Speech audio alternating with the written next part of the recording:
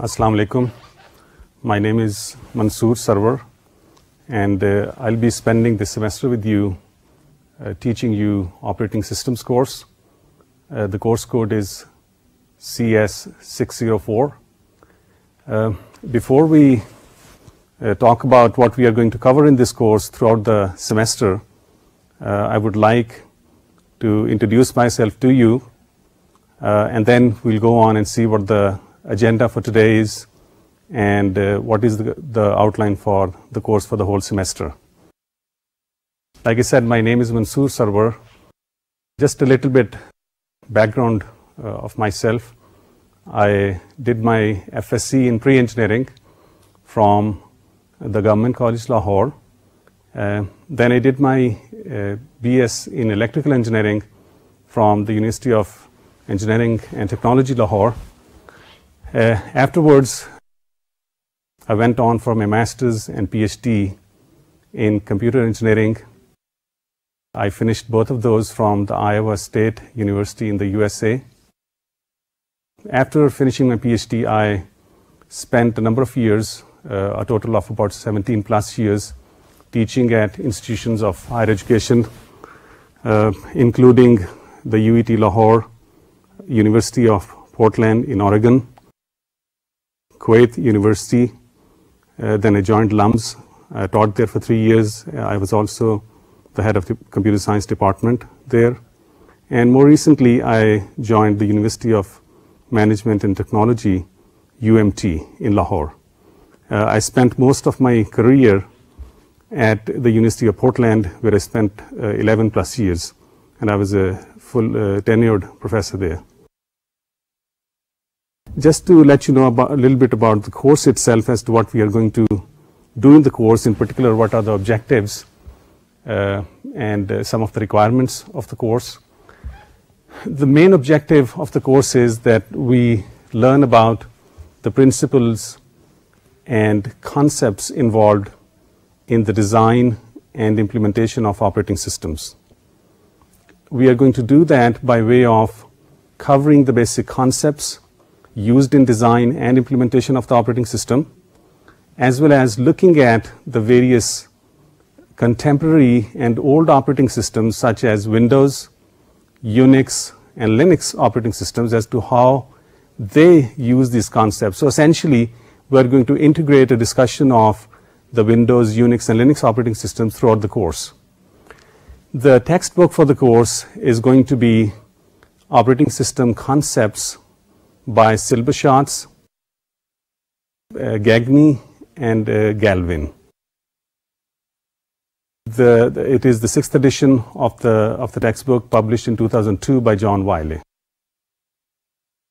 As far as uh, some of the other requirements go, uh, we are going to, I'm, I'm, going to require you to do about three to four programming uh, exercises and the purpose of the programming exercises is going to be to make sure that whatever algorithms and concepts we cover in class, you're able to implement them in an actual computer system by using a language like C or C++. And also, uh, throughout the course, as I said, we are going to look at the various concepts and algorithms and facilities available in the Unix and Linux operating systems whatever concepts we cover in class related to Unix or Linux, for example, I'm going to give programming exercises where you're able to use those concepts and perform various, various tasks by using the services available in those Unix and Linux operating systems. I should also tell you that uh, in this course there are two uh, assistants, that uh, two people who are going to assist me uh, Nazia Zaman and Sana Khwaja. With that, I think it's time that we go ahead and look for the agenda for today and also look at what we are going to do throughout the semester.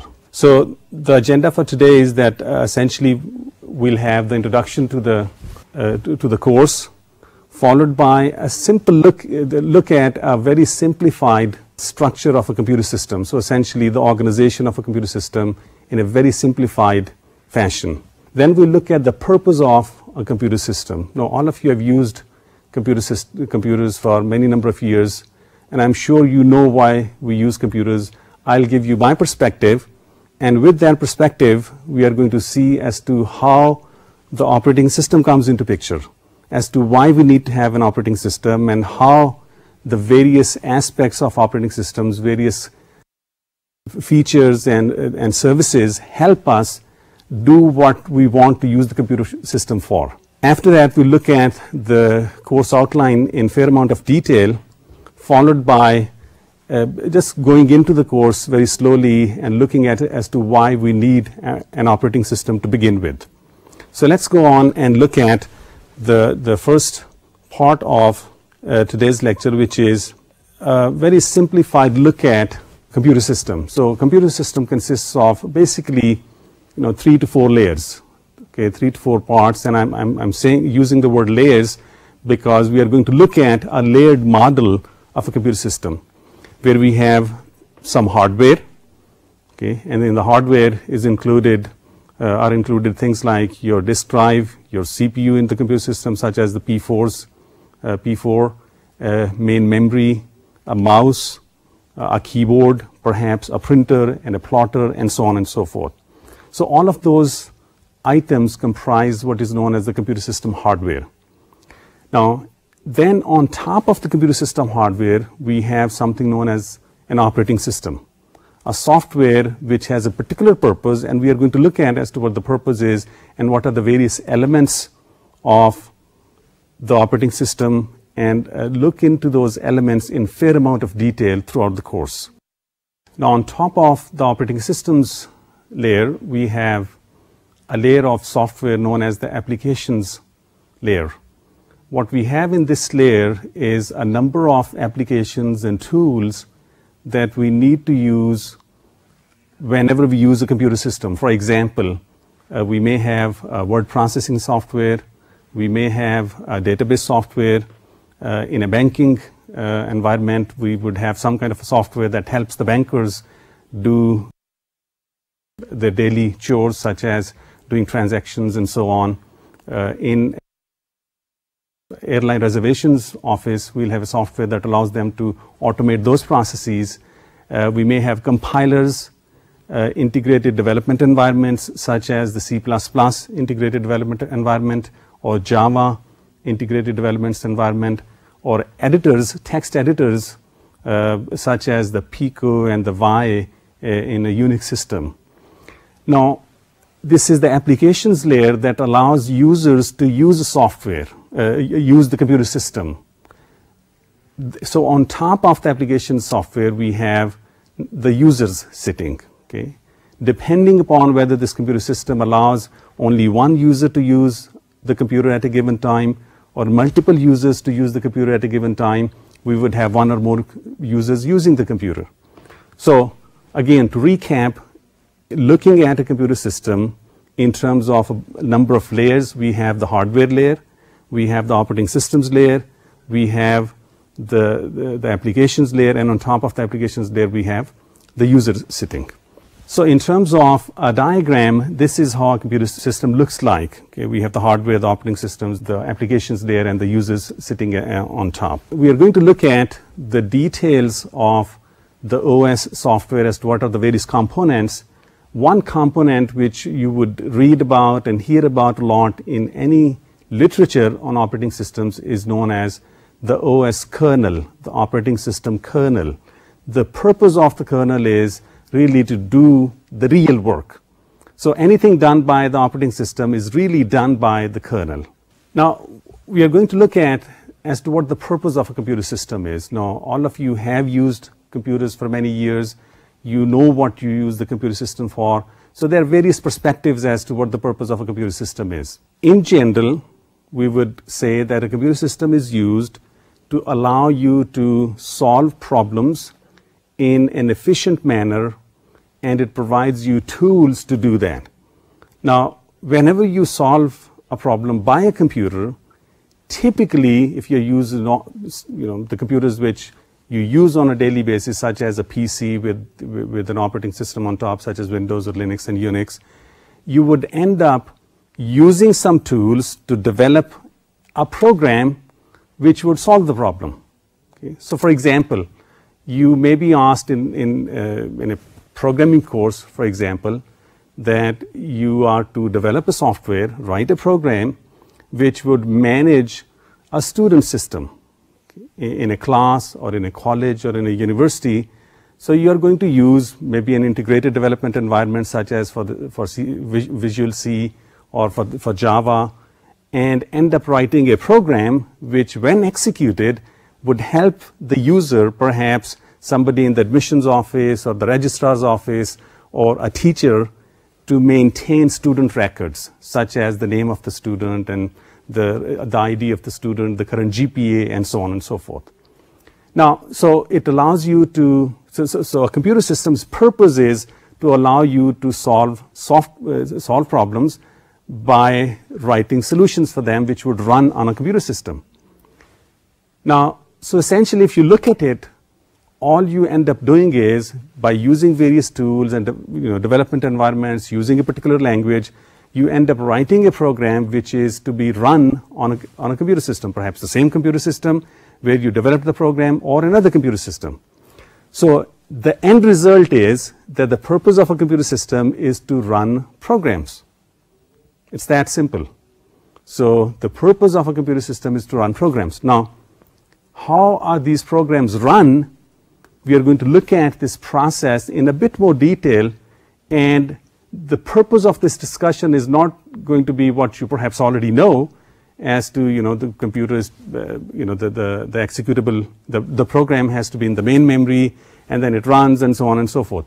The purpose of this discussion here would be to highlight the issues which the underlying operating system needs to handle. So let's look at diagram for a computer system which consists of a system bus and hang off the system bus various devices and peripheral devices such as the CPU, the main memory, a mouse perhaps, a keyboard, the display screen, there's a hard drive, there may be a piece of RAM in there, a printer perhaps is connected and so on and so forth. So how does a program execute on a computer system? Now first we need to know that as to where the, where the program resides before it executes, before we run it by either double clicking an icon on a Windows-like graphical user, uh, Windows-like system which provides a graphical user interface or by typing a command line and hitting the enter key. अच्छा अब देखना ये कि execute करने से पहले programme होता कहाँ पे है तो the program is on the disk तो जब डिस्क पे प्रोग्राम पड़ा होता है आप एक आइकॉन को डबल क्लिक करते हैं या कमांड लाइन टाइप करके एंटर हिट करते हैं तो कंप्यूटर सिस्टम का कोई हिस्सा उस प्रोग्राम को डिस्क से मेन मेमोरी में डालता है, वहाँ से फिर सीपीयू को किसी स्टेट में लेके आता है, ताकि जो पहली इंस्ट्रक्शन है प्रोग्राम में वो एक्सिक्यूट कर सके। तो जैसा कि आपने कंप्यूटर ऑर्गेनाइजेशन और असेंबली लैंग्वेज के कोर्स में सीखा कि जब सीपीयू एक इंस्ट्रक्शन को एक्सिक्यूट करता है तो उसके बाद जो प्रोग्राम में दूसरी इंस्ट्रक्शन है, उसको एक्सिक्यूट करता है। तो उसको कैसे पता चलता है कि किस इंस्ट्रक्शन को एक्सिक्यूट करना है? प्रोग्राम काउंटर जो है सीपीयू के अंदर, वो पॉइंट करता है जो अगली इंस्ट्रक्शन को एक्सिक्यूट करना हो, जिस अगली इंस्ट्रक्शन को एक्सिक्यूट करना हो। तो इस तरह डिस्क से प्रोग्राम लिया जाता है मेन मेमोरी में डाल दिया जाता है सीपीयू की स्टेट को प्रॉपरली सेट कर दिया जाता है। In particular setting the PC, the program counter, to point to the right instruction to be executed. And after that, the CPU gets into the, the, the CPU cycle, which is fetching the next instruction, decoding it, and executing it. अच्छा अब इस सारे process में देखें कि computer system को क्या क्या करना पड़ा और इसके अलावा और क्या इश्यूज़ हैं एक तो ये कि उसने पहले जब आपने डबल क्लिक किया एक आइकॉन को या कमांड लाइन आपने टाइप की तो उस कमांड लाइन को लेके कंप्यूटर सिस्टम ने देखना है कि ये जो कमांड लाइन में जो प्रोग्राम आपने बताया है, ये डिस्क में किस जगह पे है? ठीक है जी? ये किसी फ़ाइल में होगा। तो जब प्रोग्राम क्रिएट किया गया तो ये फ़ाइल क्रिएट की गई डिस्क में। और जब वो फ़ाइल क्रिएट की गई तो कंप्यूटर सिस्टम ने इंश्योर किया कि आपकी जो फ़ाइल क्रिएट हो रही है, ये किसी और फ़ाइल को ओवर ना कर दे। आपकी वो अपनी फ़ाइल हो या मे बी किसी और यूज़र की हो द पॉइंट इज़ कि it should not overwrite any other program file or data file on the disk. अच्छा जब ये प्रोग्राम को मेन मेमोरी में लाया गया तो the questions are how much memory should be allocated for this program to be loaded in the main memory किस जगह पे ये मेन मेमोरी होगी? कब एलोकेट होगी? कब डी एलोकेट होगी? एंड थिंग्स लाइक दैट तो ये सारे काम कौन करता है? अच्छा इन सारे कामों को थोड़ा हम समराइज कर दें। जब प्रोग्राम फ़ाइल क्रिएट की जाती है डिस्क के ऊपर, जिसको हम एक्सिक्यूटेबल फ़ाइल कहते हैं, वो किस जगह स्टोर होगी डिस्क पे टू मेक श्योर कि no other file data file और program file is overwritten कब स्पेस जो डिस्क पे, वो is is going to be deallocated for the file, and so on. So, disk को manage करना, ये सारा काम ऑपरेटिंग सिस्टम करता है। You don't have to worry about it similarly जब प्रोग्राम एक्सिक्यूटेबल जो है मेन मेमोरी में आया कितनी मेन मेमोरी एलोकेट करनी है किस जगह पे करनी है किस वक्त करनी है कब डी एलोकेट करनी है मेकिंग श्योर sure कि अगर कोई और प्रोग्राम अभी मेमोरी में है तो उसको उसके ऊपर ना ये प्रोग्राम लिखा जाए i.e. it is not loaded on top of another program, all these issues are related to something known as secondary storage management and main memory management. तो ये हम डिटेल में देखेंगे, you know, as we as we move on in the course as to how are these issues handled by the operating system and what are the algorithms used and and data structures and so on and so forth. इसके अलावा और बहुत सी चीज़ें हैं for example एक multi user system में या मल्टी प्रोसेस सिस्टम में इन चीज़ों को हमने डिफाइन नहीं किया बट मल्टी यूज़र मीन्स के मल्टीपल यूज़र्स उसको यूज़ कर रहे हैं a typical system such as Unix और लिनिक्स बेस्ड सिस्टम या मल्टी प्रोसेस सिस्टम मे और may not be multi user system जिसमें मल्टीपल प्रोग्राम्स एक्सिक्यूट कर रहे हों साइमल्टेनियसली उनके अपने इश्यूज़ होते हैं जब मल्टीपल प्रोग्राम्स एक्सिक्यूट कर रहे हो simultaneously now let's just look at those issues अगर तो आपके कंप्यूटर सिस्टम में, जिसमें ये मल्टीपल प्रोग्राम्स एग्जीक्यूट कर रहे हैं, एक सीपीयू है। तो the question is how can all these programs run simultaneously on a machine with a single CPU because you know that the CPU runs all the programs. So if it is a single CPU, it must be able to run only one program at a given time. So how do all these programs running simultaneously run on such a machine? the, then when, when we think about these things, then we realize that yes, there is something in the OS that ensures that all of these concurrently executing programs are multiplexed over a single CPU. इसका मतलब ये है कि एक programme को लिया जाता है, उसको सीपीयू पर रन किया जाता है थोड़ी देर के लिए, उस प्रोग्राम से सीपीयू ले लिया जाता है और एक और प्रोग्राम को दे दिया जाता है जो कि रन कर रहा है। थोड़ी देर उसको सीपीयू देते हैं, फिर उससे ले लेते हैं और एक और प्रोग्राम को दे देते हैं एंड सो ऑन सो इस तरह होता क्या है कि ये सीपीयू इतने थोड़े थोड़े वक्त के लिए दिया जाता है सारे प्रोग्राम्स को कि अगर आप एक ज़्यादा वक्त में let's say over a period of a few minutes देखें तो सारे प्रोग्राम्स थोड़ा थोड़ा एक्सिक्यूट कर चुके होंगे। ये कौन करता है? ये ऑपरेटिंग सिस्टम करता है। इस सारी चीज़ को हम कहते हैं सीपीयू स्केजुलिंग कि एक सीपीयू एस को कैसे स्केजुअल करें कि सारे प्रोग्राम्स को बारी बारी थोड़ा थोड़ा वक्त दे के सीपीयू का, उन सबको थोड़ा थोड़ा आगे बढ़ाया जाए। अच्छा ये सीपीयू स्केजुलिंग होगी, ये ओएस करता है। इसको हम डिटेल में देखेंगे कोर्स में जब you know as we move on इसके अलावा और क्या आपने आजकल सुना होगा जी कि कंकरेंट प्रोसेसेस प्रॉब्लम को सॉल्व करने के लिए there are techniques available would allow you to partition your problem into smaller pieces and have each of those smaller pieces you know performed by an individual program so ये जब हम करते हैं तो हम कहते हैं कि एक प्रॉब्लम को सॉल्व करने के लिए हमने छोटे छोटे प्रोग्राम बना लिए, जो कि रन करते हैं और जो अपना एक दूसरे से कोऑपरेट करते हैं फाइनल सोल्यूशन प्रोड्यूस करने के लिए। जब ये प्रोग्राम्स रन करते हैं कंकरेंटली साइमल्टेनियसली एक एक ही वक्त में रन करते हैं तो इनको अगर एक ही प्रॉब्लम सॉल्व करनी है तो there are chances very good chances कि ये किसी डेटा को शेयर कर रहे हैं। अच्छा वो डेटा जो है, वो कोई मेन मेमोरी का पार्ट हो सकता है maybe a variable integer variable या कुछ अरे हो सकती है ऑफ़ स्ट्रक्चर्स या इंटीजर्स और कैरेक्टर्स या एक फ़ाइल हो सकती है जो सारों ने शेयर करने हैं। मे बी हो सकता है डेटाबेस हो।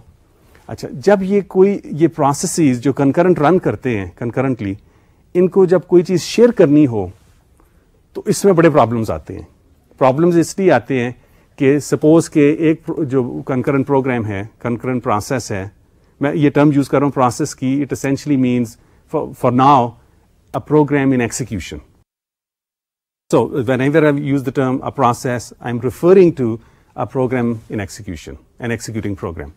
अच्छा तो जब ये कंकरेंट प्रोसेस वो शेड चीज़ को उसने चेंज करना है तो हम देखेंगे बाद में कि इससे सीरियस प्रॉब्लम्स आ सकते हैं अगर एक से ज़्यादा कंकरेंट प्रोसेसेस उस शेड स्टेट को चेंज करें इससे हमें एक एक प्रॉब्लम एक प्रॉब्लम हम, हमें आती है जिसको हम कहते हैं द क्रिटिकल सेक्शन प्रॉब्लम ठीक है? इसको हम डिटेल में देखेंगे कि ये क्रिटिकल सेक्शन प्रॉब्लम क्या है, इसको कैसे सॉल्व करते हैं? कई सोल्यूशन है इसके थोड़ी सी डिटेल हम देखेंगे अभी जब कोर्स आउटलाइन पर जाते हैं।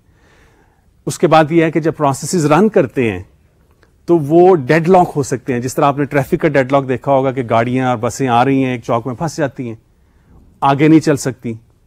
तो वो डेडलॉक को आप खत्म करते हैं मे बी ट्रैफ़िक का कोई बंदा आता है पुलिस आती है, वो गाड़ियों को एक साइड से रोक देती है, रास्ता बनाती है ताकि एक तरफ़ से गाड़ियाँ निकल जाएँ और डेडलॉक खत्म हो जाते हैं ट्रैफ़िक फ्लो जो है ना, फिर चलना शुरू हो जाता है। इसी तरह कंप्यूटर सिस्टम में चाहे इतने ज़्यादा प्रोसेस चल रहे हैं, हो सकता है डेड लॉक हो जाए।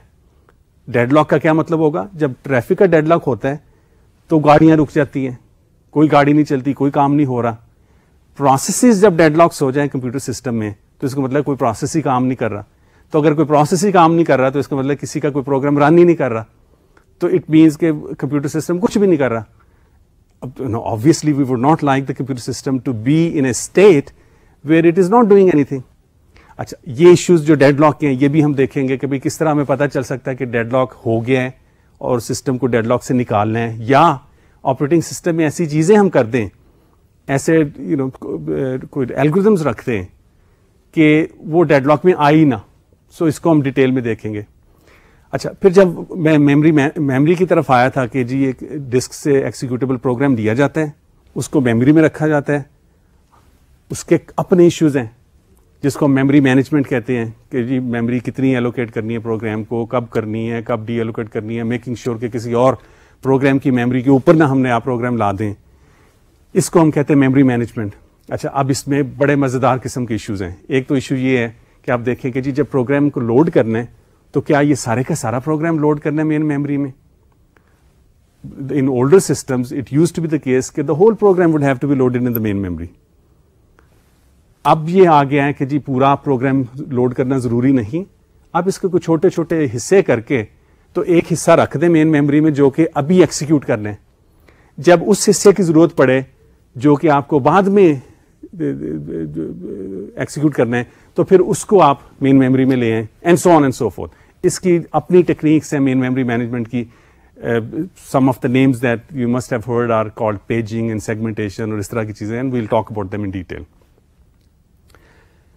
फिर आपने सुना होगा द टर्म वर्चुअल मेमोरी अच्छा वर्चुअल मेमोरी आपके अपने ख्यालत होंगे, जी, ये क्या होता है? मुझे इतने साल हो गए ऑपरेटिंग सिस्टम पढ़ाते हुए. स्टूडेंट्स आते हैं, ये टर्म बड़ा फ्रीक्वेंटली यूज़ करते हैं कि जी वर्चुअल मेमोरी मेरे कंप्यूटर सिस्टम में है and so on and so forth but generally speaking they don't really understand कि जी वर्चुअल मेमोरी है क्या।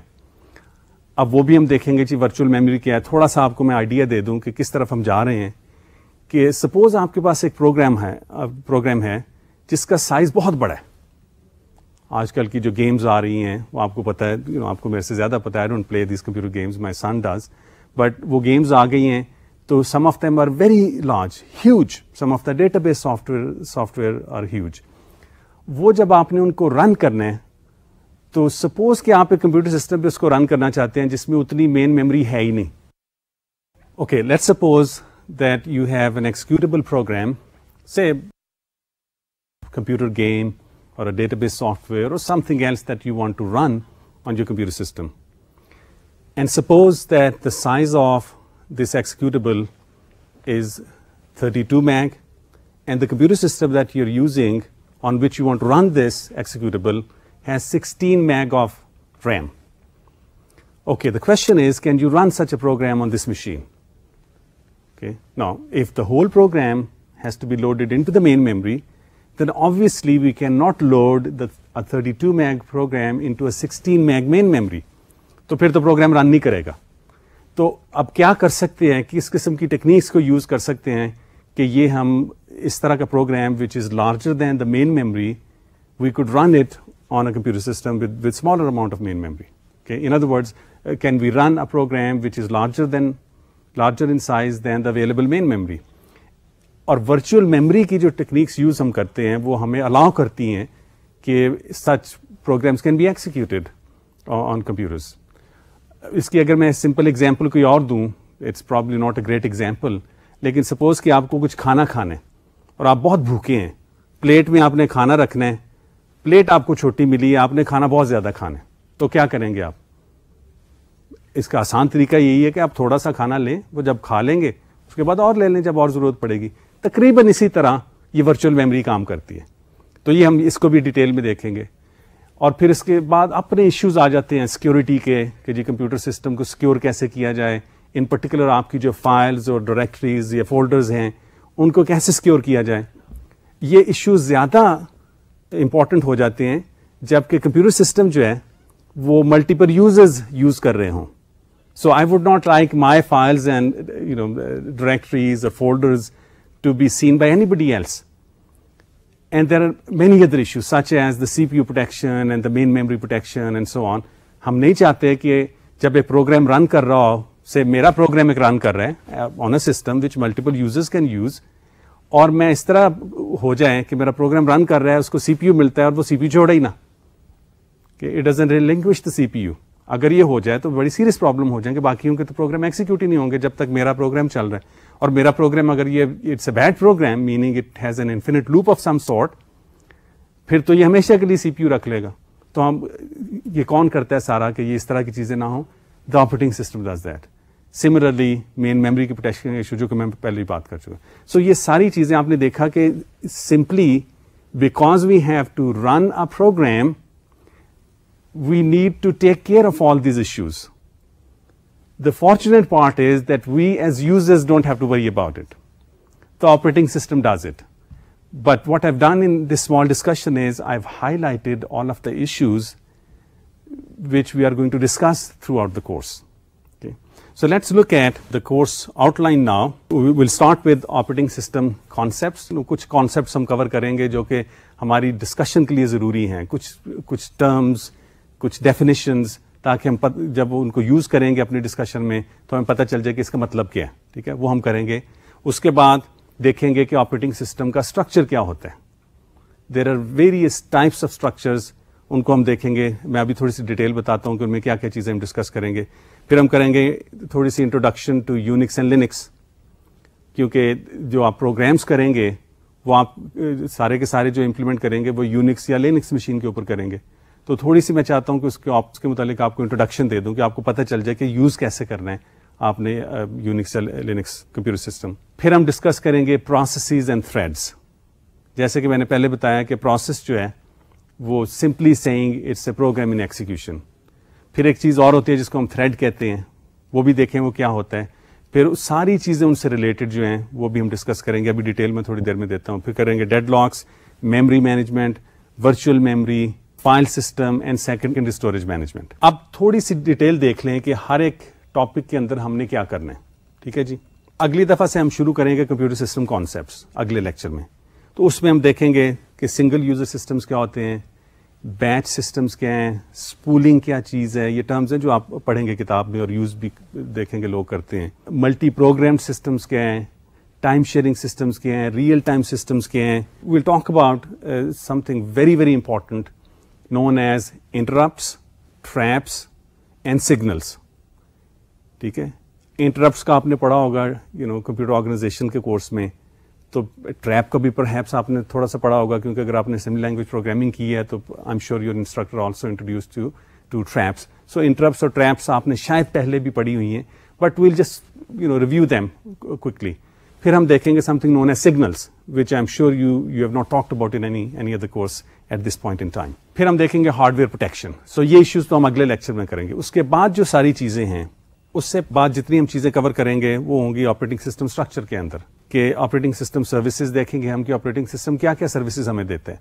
काफ़ी चीज़ें तो हमने डिस्कस कर ली हैं कि जी मेन मेमोरी को मैनेज करता है वर्चुअल मेमोरी देता है डेड लॉक्स को यू नो हैंडल करते हैं सो ऑन एंड सो फ़ोन हम डिटेल में देखें कि क्या क्या सर्विसेज़ हमें देता है. फिर हम ये देखेंगे कि वो सर्विसेज़ हमें किस तरह देता है. What is our interface to the computer system to get those services from the operating system? दो तरह के तरीके हैं। एक तो यह है कि आप यूज़र हैं आप ये डबल क्लिक कर, रहे हैं किसी आइकॉन पे या पुल डाउन मेन्यू के थ्रू आपके प्रोग्राम रन कर रहे हैं या आप कमांड लाइन लिख के तो टाइप करके तो एंटर हिट कर देते हैं। तो ये सर्विसेज़ होंगी टू द यूज़र अच्छा अब कुछ सर्विसेज़ होंगी to which are going to be available to the programmers कि जब आप प्रोग्राम लिख रहे हैं और कुछ ऐसी चीज़ें आपने करनी है जो कि आपको इजाज़त नहीं होनी चाहिए अपने प्रोग्राम में डायरेक्टली करने की। फॉर एग्ज़ाम्पल कि आपने इन पर्टिकुलर अब मैं बात करूँगा कि मल्टी यूज़र सिस्टम की, कि आपने फ़ाइल क्रिएट करनी है तो आप अपना प्रोग्राम लिखें जो कि खुद ही डिस्क को एक्सेस कर ले और उसके ऊपर आपका, आपकी फ़ाइल क्रिएट कर दे। या प्रोग्राम रन करना है आपने तो आप खुद ही प्रोग्राम को लिखें जो कि डिस्क से प्रोग्राम ले एक्सिक्यूटेबल और उसको मेन मेमोरी में रख दे। अगर आपको ये इजाज़त मिल जाए तो आप तो कंप्यूटर सिस्टम जो मेन मेमोरी में और प्रोग्राम हैं, उनको नोइंगली और अनोइंगली आप उनके ऊपर प्रोग्राम्स को ओवरराइट कर देंगे। तो इस तरह की चीज़ें की आपको इजाज़त नहीं होती। तो फिर ये सारे काम कौन करता है? कि आपको फ़ाइल क्रिएट करनी है, आपको मेन मेमोरी में कोई चीज़ लोड करनी है, आपको डिस्क में से कोई डेटा रीड करना है and so on so forth ये सारे के सारे काम ऑपरेटिंग सिस्टम आपको देते हैं as services to you as a programmer तो उसका एक अपना तरीका है कि वो आप किस तरह इन्वोक कर सकते हैं उन, उन सर्विसेज़ को। द जनरल वे इज़ कि you are given an interface known as the application programmers interface उसके अंदर दो तीन चीज़ें आती हैं। एक को हम डिटेल में देखेंगे दूसरी आप कई प्रोग्रामिंग कोर्सेज में पहले ही देख चुके हैं। लाइब्रेरी कॉल्स या लाइब्रेरी रूटीन्स या लाइब्रेरी फ़ंक्शंस और सिस्टम कॉल्स तो सिस्टम कॉल्स को हम डिटेल में देखेंगे कि सिस्टम कॉल है क्या चीज़ और किस, जब ये एक्सिक्यूट होती है तो किस तरह एक्सिक्यूट होती है कि जो आपने सर्विस को रिक्वेस्ट की है from with in your programme ये ऑपरेटिंग सिस्टम उसको कैसे प्रोवाइड करते हो सर्विस को. फिर हम दूसरे स्ट्रक्चर्स देखेंगे कि ऑपरेटिंग सिस्टम कोड के ऑपरेटिंग सिस्टम भी एक प्रोग्राम है, एक कोड पीस ऑफ़ कोड है, उसको स्ट्रक्चर कैसे किया जाता है टिपिकली इसमें बहुत से स्ट्रक्चर देखेंगे और देखेंगे कि आजकल के ऑपरेटिंग सिस्टम में कौन सा स्ट्रक्चर यूज़ किया जा रहा है।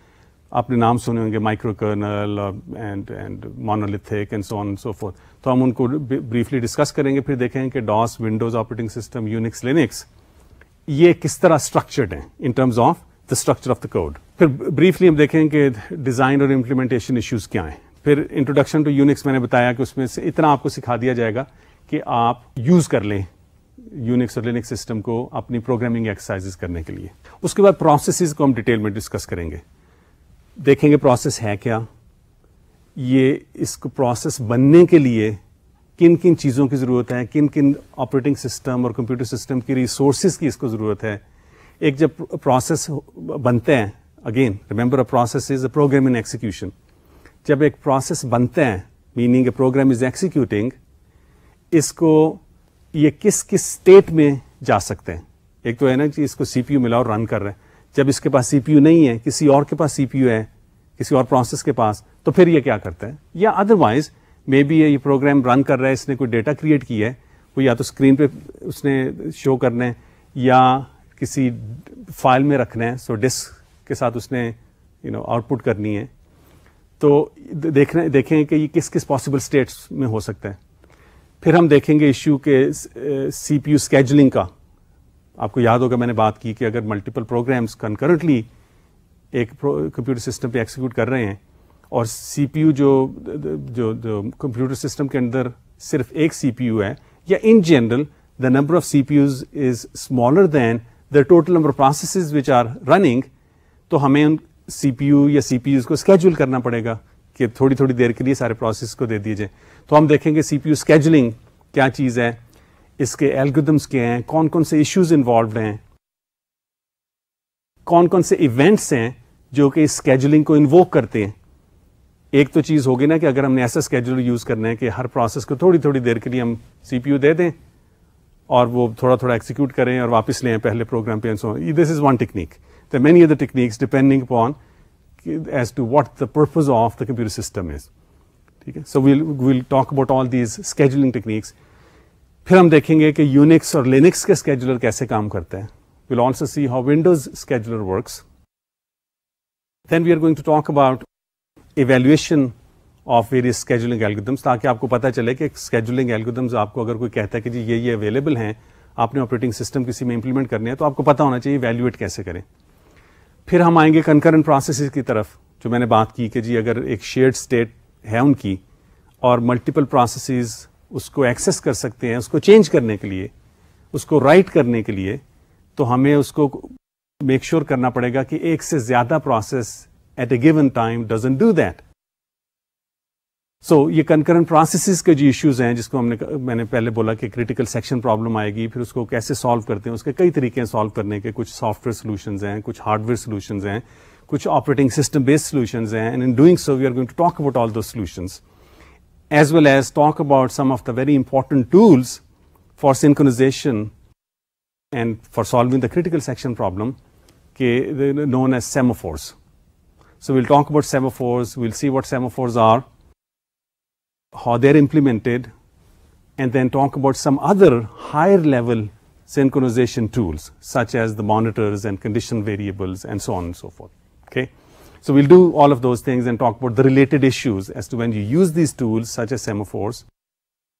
As a programmer, you have to be very careful that you don't end up writing solution for a problem which uses concurrent processes, but it ends up with a deadlock perhaps okay, or maybe one of the processes, uh, you know, never gets to get a resource that it needs to, to in order to continue its execution. So ये सारी बातें हम processes के under करेंगे अच्छा उसके बाद हम आएंगे something known as inter process communication जब मैं बात की ना कि एक प्रॉब्लम को आपने सॉल्व करना है with multiple processes which are going to run concurrently, many a times these concurrent processes would need to talk to each other. Maybe one process has produced some result and it needs to give it to another process. So this is called inter-process communication. ये किस तरह हो सकती है What are the various methods available for processes to communicate with each other? We look at the various methods available to, to, for inter-process communication. In particular, हम चाहेंगे कि जो यूनिक्स और लिनक्स में इंटर प्रोसेस कम्युनिकेशन के tools available हैं उनको discuss करें so will talk about things like uh, pipes, FIFOs, sockets, message queues, and so on and so forth. तो processes के जुमरे में हम inter-process communication के tools भी discuss करेंगे. Then after the processes, we'll talk about threads. Threads का, if you have done Java programming, I'm sure you have some idea of threads. तो threads को हम देखेंगे कि what is a thread? You know, some people probably told you that uh, it's a thread is a lightweight process. Now, what does lightweight mean? Does it mean that, you know, it has to be less than, you know, 10 grams or less than, you know, 10 instructions, CPU instructions, or what does it mean though? So वो हम देखेंगे कि thread क्या है और ये process से किस तरह मुख्तलिफ़ है। और जो भी थ्रेड्स के इश्यूज़ हैं अपने वो देखेंगे। थ्रेड कम्युनिकेशन को हम देखेंगे। इंटर थ्रेड कम्युनिकेशन को देखेंगे। सिंक्रोनाइजेशन के इश्यूज़ देखेंगे। एंड सो ऑन अच्छा उसके बाद हम डेडलॉक्स को देखेंगे। कि कंप्यूटर सिस्टम में जो डेडलॉक होते हैं, हमें कैसे पता चलता है कि एक डेडलॉक हो गया कि प्रोसेसेस एक डेडलॉक में इन्वॉल्व हो गए हैं। फिर अगर पता चल गया कि हो गया एक डेडलॉक तो उसको सिस्टम को डेडलॉक से बाहर कैसे लेके आएँगे? या वो भी चीज़ें डिस्कस करेंगे हम कि किस तरह हम कोई ऐसे एल्गोरिदम्स यूज़ कर सकते हैं ऑपरेटिंग सिस्टम में कि डेडलॉक हो ही ना। तो उसमें हम देखेंगे deadlock prevention and deadlock avoidance algorithms वो हम देखेंगे। सो so, ये डेडलॉक्स का हो गया। अब हम आएँगे मेमोरी मैनेजमेंट की तरफ़। जैसे मैंने बात की कि मेमोरी मैनेजमेंट का मतलब है कि किस तरह मेन मेमोरी को मैनेज किया जाए कि फ्री स्पेस जो मेमोरी में है how do we keep track of that in the operating system how do we how and when do we allocate deallocate memory for a process how much memory do we allocate and issues like that अच्छा इसमें हम discussion जो शुरू करेंगे, वो बड़े simple memory management के issues से करेंगे कि सपोज़ आपका प्रोग्राम है जो आपने रन करना है और पूरा का पूरा प्रोग्राम मेन मेमोरी में आएगा। तो उसकी क्या टेक्निक्स अवेलेबल हैं? लेकिन असल मज़ा आएगा जब हम देखेंगे कि हमारा प्रोग्राम जो है, हो सकता है ये मेन मेमोरी से बहुत बड़ा हो और फिर तो सारा हम ला नहीं सकते। तो इसको कौन सी टेक्निक्स यूज़ करनी है कि you know, we bring part of a program into the main memory, and in particular that part which is needed currently, to, which is needed to, which needs to run now at this time, and then bring in the, the other parts of the, the program which are needed later on. So while doing so, uh, we, will talk about you know, uh, famous techniques known as paging and segmentation. इसके सारे issues देखेंगे कि ये किस तरह paging और segmentation implement होती है। इसमें कितनी हमें हार्डवेयर सपोर्ट की ज़रूरत होती है। से हार्डवेयर सपोर्ट इट मींस के सीपीयू की सपोर्ट कितनी ज़रूरत होती है। हम डिस्कस करेंगे issues like logical to physical address look at the performance of paging we'll talk about issues related to paging and segmentation, such as sharing at the page level, sharing at the segmentation, segment level protection के issues के किस तरह हम programmes को protect कर सकते हैं। और इसमें सो ये सारी चीज़ें तो बड़ी मज़ेदार हैं कि मेमोरी मैनेजमेंट हो रही है पेजिंग और सेगमेंटेशन या कोई इस तरह की टेक्निक यूज़ करके। So the question is what is the overhead ठीक है? Where do we pay so we are going to talk about that also अच्छा जब वर्चुअल मेमोरी आती है तो उसमें ये आता है कि पेजिंग में तो हमने कहा ना कि जी थोड़े थोड़े प्रोग्राम ले आते हैं। और जो वर्चुअल मेमोरी में ये होता है कि वो थोड़े थोड़े पार्ट्स उस तरह तब लाते हैं जब उनकी ज़रूरत पड़े। इसी तरह सेगमेंटेशन अगर यूज़ करनी है whatever segmentation is for now we'll also bring in segments into the main memory and bring more segments when they're needed this is all virtual memory अच्छा अब कई दफ़ा ये इश्यू हो जाता है कि एक प्रोग्राम रन करने के लिए हमें थोड़ा सा इसका हिस्सा और मेन मेमोरी में लाना है। लेकिन मेन मेमोरी में जगह ही नहीं है। तो अगर हम पेजिंग यूज़ कर रहे हैं तो हम कहेंगे जी कि ये अच्छा ये एक पेज हमने लाना है मेमोरी में, लेकिन इसके लिए जगह नहीं है। तो फिर क्या होगा? फिर इसको हम कहते हैं जी पेज फॉल्ट हो गया। अच्छा पेज फॉल्ट जब होता है तो फिर ऑपरेटिंग सिस्टम इसको कैसे हैंडल करता है? ठीक है? इसकी क्या कॉस्ट है? And we'll we'll talk about those things then we'll get to the issues of file management और यू नो फ़ाइल सिस्टम देखेंगे कि यूज़र का व्यू क्या होता है, एक ऑपरेटिंग सिस्टम में जो कि फ़ाइल सिस्टम इंप्लीमेंट कर रहा है, और उसके इम्प्लीमेंटेशन के क्या इश्यूज़ हैं। सो यूज़र का व्यू हो सकता है जी कि मेरा एक हायरार्किकल फ़ाइल सिस्टम है which is typically the case in today's computer systems such as Windows and Unix Linux कि जी आपका एक मेन फोल्डर है, या आप उसको रूट फोल्डर कह लें रूट डायरेक्टरी कह लें, उसके नीचे और डायरेक्टरीज या फोल्डर्स हैं, और उनमें और हैं and so on and so forth so you get a hierarchical tree like structure वो तो यूज़र का व्यू हो गया तो आप you know you can jump from one folder to another and browse the file system and so on so वो user का view हो गया उसको हम डिस्कस करेंगे। फिर हम करेंगे कि ये ऑपरेटिंग सिस्टम में एक्चुअली ये इंप्लीमेंट कैसे होता है? We are going to talk about you know the, the, the structure of a file. File के एट्रीब्यूट्स क्या हैं? वो एट्रीब्यूट्स कहाँ स्टोर होते हैं? से एट्रीब्यूट्स आई एसेंशियली मीन कि जी थिंग्स लाइक के फ़ाइल का ओनर क्या कौन है? इस फ़ाइल का साइज़ क्या है, कब फ़ाइल क्रिएट हुई थी, कब इसको अपडेट किया गया था कितने यूज़र कितनी दफ़ा, ये ओपन यू नो कितनी दफ़ा इस वक्त है and so on and so forth so we'll talk about files and file system implementation अच्छा इसमें इम्प्लीमेंटेशन में जो मेजर चीज़ हम डिस्कस करेंगे ना, एक तो जनरली हम डिस्कस करेंगे कि डिस्क का जनरल स्ट्रक्चर क्या होता है। फिर हम ज़्यादा वक्त लगाएँगे देखेंगे कि फ़ाइल एलोकेशन टेक्निक्स क्या होती हैं, कि डिस्क स्पेस जो है, उसको कैसे मैनेज किया जाता है फ्री स्पेस डिस्क में कहाँ कहाँ है, और जब एक रिक्वेस्ट आती है फ़ाइल को स्टोर करने के लिए या फोल्डर को स्टोर करने के लिए फोल्डर फ़ाइल क्रिएट करने के लिए, उसको किस जगह और कितनी स्पेस दी जाएगी, इसको हम कहते हैं डिस्क मैनेजमेंट और स्पेस एलोकेशन टेक्निक्स तो हम बहुत ज़्यादा यू नो काफ़ी टेक्निक्स डिस्कस करेंगे स्पेस एलोकेशन की। फिर उसमें देखेंगे कि विंडोज़ और यूनिक्स में कौन सी टेक्निक्स यूज़ होती हैं, उनको कंपेयर करेंगे। और फिर हम देखेंगे कि डिस्क स्केजुलिंग क्या चीज़ है। अच्छा डिस्क स्केजुलिंग का मतलब ये है कि एक कंप्यूटर सिस्टम में, एक वक्त में अगर डिस्क एक है और उसको मल्टीपल रिक्वेस्ट्स आ जाती हैं फॉर फ़ाइल हैंडलिंग और फोल्डर और डिस्क डायरेक्टरी हैंडलिंग तो किस तरह उनको हैंडल करता है वो? तो असेंशली इसका मतलब ये है कि मल्टीपल रिक्वेस्ट आ गई हैं। डिस्क कंट्रोलर एक ही है उसने एक एक करके उन रिक्वेस्ट को सर्व करेगा। तो उसकी क्या टेक्निक्स हैं और किस चीज़ को हम ऑप्टिमाइज करना चाहते हैं वो टेक्निक्स को हम देखेंगे। सो डिस्क स्केजुलिंग की हम टेक्निक्स देखेंगे। सो so, जितनी सेकेंडरी स्टोरेज के इश्यूज़ हैं फ़ाइल स्पेस मैनेजमेंट के इश्यूज़ हैं वो सारे हम towards the end of the course करेंगे। अच्छा ये तक, ये सारी चीज़ें करके अगर हमारे पास वक्त बचा तो इनशाला हम देखेंगे कि फ़ाइल सिस्टम सिक्योरिटी के थोड़े से इश्यूज़ इन पर्टिकुलर थोड़ा सा वक्त मैं लगाना चाहूँगा कि यूनिक्स और लिनिक्स में फ़ाइल प्रोटेक्शन के क्या मैकेनिज्म्स अवेलेबल हैं. तो ये तो था सारी डिटेल कि हम कोर्स में करेंगे क्या. ठीक है? There's a lot of things we are going to do. I know some of the terms I've used and some of the issues I've talked about, they perhaps did not make sense to you.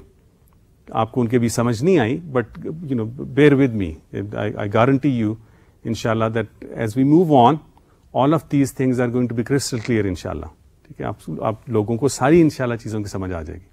अच्छा ये course की outline होगी। अब आखिरी जो चंद minute रह गए हैं, मैं चाहता हूँ कि इनमें we should start you know looking into the various issues in particular मैं चाहूँगा कि एक चीज़ को हम आप, आज डिस्कस करके फिर ख़त्म करें कोर्स लेक्चर को, और वो है कि ऑपरेटिंग सिस्टम है क्या चीज़? ठीक है? तो इसमें यू नो दो दो व्यूज़ हैं। तो मैं दोनों व्यूज़ आपको बता देता हूँ which essentially both of them essentially point to the same thing लेकिन वो कहने के दो तरीके हैं। उसको हम कहते हैं कि जी, एक टॉप डाउन व्यू है, जो कि यूज़र का व्यू हो सकता है, एक बॉटम अप व्यू है, जो कि ऑपरेटिंग सिस्टम का अपना व्यू हो सकता है कि मैं क्या करता हूँ? या मेरा पर्पज़ क्या है? तो टॉप डाउन व्यू जो यूज़र का है, वो तो ये है कि ऑपरेटिंग सिस्टम हमें एक बड़ी सिंपल सी कंप्यूटर सिस्टम दे देता है जिसको हम यूज़ कर सकते हैं। ठीक है?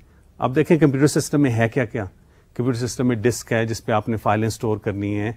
मेन मेमोरी है जिसमें आपने प्रोग्राम्स रन करने हैं। सीपीयू है आपका you know P four based computer system पर आपका है आजकल।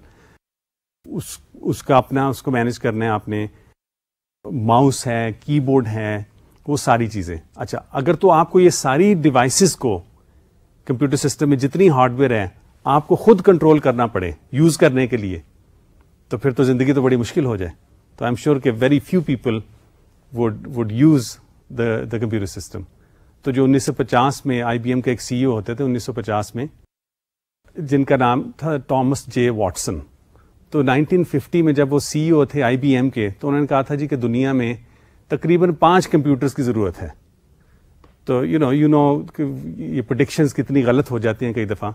एंड वो इतने मशहूर आदमी थे, इतने अच्छे सीईओ थे कि आजकल न्यूयॉर्क में for many years there is a I B M research lab known as the Thomson J Watson lab जिसमें कटिंग एज रिसर्च होती है। बट लुक के उनकी प्रोडिक्शन कितनी गलत थी। लेकिन अगर आप लोगों को खुद कंप्यूटर हार्डवेयर को मैनेज करना पड़ जाए कि जी मैंने फ़ाइल क्रिएट करनी है तो मुझे अपना प्रोग्राम लिखना पड़ेगा जो कि डिस्कंट्रोलर को डील करेगा। कीबोर्ड के मैंने प्रेस किया है की तो डिस्प्ले स्क्रीन पे आने के लिए मैं खुद कोई प्रोग्राम लिखूं जो कि वो जो की प्रेस को ले और कॉरस्पॉन्डिंग की कैरेक्टर जो है ना स्क्रीन पर डिस्प्ले कर दे। तो फिर तो वाकई वो पाँच ही लोग होते, पाँच ही कंप्यूटर्स की ज़रूरत होती पर लेकिन so this is this would a very difficult machine to use लेकिन होता कि आपने फ़ाइल क्रिएट करनी है, आपने कॉपी करनी है फोल्डर क्रिएट करना है तो क्या करते हैं आप? आपके लिए तो बड़ी आसानी है कि विंडो सिस्टम आप यूज़ कर रहे हैं तो आपने वो फ़ाइल मेन्यू पे जाके आपने न्यू की ऑप्शन के अंदर गए और फोल्डर क्रिएट कर दिया, उसका आपने नाम भी चेंज कर दिया एंड सो ऑन सो फुट फ़ाइल क्रिएट करनी है। अगर वर्ड प्रोसेसर यूज़ करना है तो maybe you know use a word processor of you know word processor है और whatever text file create करनी है तो आप यूज़ कर सकते हैं कोई editor for example Unix Linux में पीको है वाई है ई मैक्स है मुख्तलिफ़ किस्म के एडिटर है। वो यूज़ करके आप टेक्स्ट फ़ाइल क्रिएट कर लेते हैं। तो ज़िंदगी बड़ी आसान है। सो so, यूज़र का व्यू ये होगा कि ऑपरेटिंग सिस्टम हमें एक बड़ी आसान सी मशीन प्रोवाइड कर देता है जिसको हम यूज़ करते हैं instead of using a very complicated machine तो इस व्यू से हम कह सकते हैं कि ऑपरेटिंग सिस्टम हमें एक वर्चुअल मशीन देता है which is very easy to deal with अच्छा ये तो हो गया top down view bottom up view क्या होगा? कि ऑपरेटिंग सिस्टम को क्या क्या करना पड़ता है। तो ऑपरेटिंग सिस्टम के पॉइंट ऑफ़ व्यू से उसका पर्पज क्या है? तो ऑपरेटिंग सिस्टम करता क्या है? ये जितनी मैंने अभी बातें सारी की कि जी, ये मेन मेमोरी मैनेजमेंट करनी है डिस्क मैनेजमेंट करनी है, सारे डिस्क डिवाइस जो आईओ डिवाइसेस हैं, उनसे कम्युनिकेट करना है। जितने रिसोर्सेज हैं कंप्यूटर सिस्टम में मोस्टली हम हार्डवेयर रिसोर्सेज की बात करते हैं, लेकिन सॉफ्टवेयर रिसोर्सेज भी हो सकते हैं। उन सारों को कौन मैनेज करता है?